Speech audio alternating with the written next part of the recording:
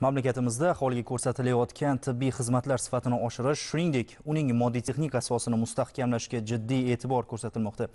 Xususan toshkent viloyati bo'stonliq tumanidagi oqtosh sanatoriyasida o'zbekiston kasb uyushmalari federatsiyasi homiyligida qurilgan 62 o'rinli yangi davolash binosi foydalanishga topshirildi. Tantanali ravishda ochilgan oqtosh sanatoriyasining yangi binosi.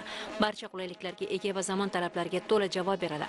Obod qishloq dasturi doirasida kasaba uyushmalari federatsiyasi tomonidan sanatoriylar joylashgan hududlarda yashovchi ehtiyojmand oilalar vakillarining bepul davolanishi tashkil etilmoqda. 62 o'ringa ega yangi yotoq va davolash binosi o'zining ilk dam oluvchilarini qabul qildi.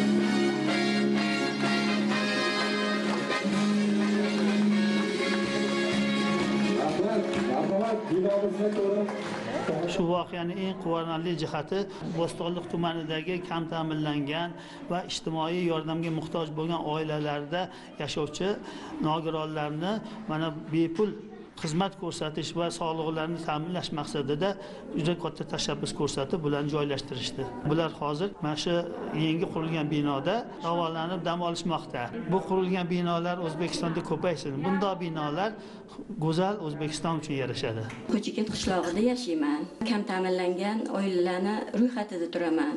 Boquvchim yo'q. Ikkita bolamdan ayrilganman. Shuni inobatga olib mani shu dargohga oqtosh sanatoriyasiga dam olayotganligim uchun judayam minnatdorman.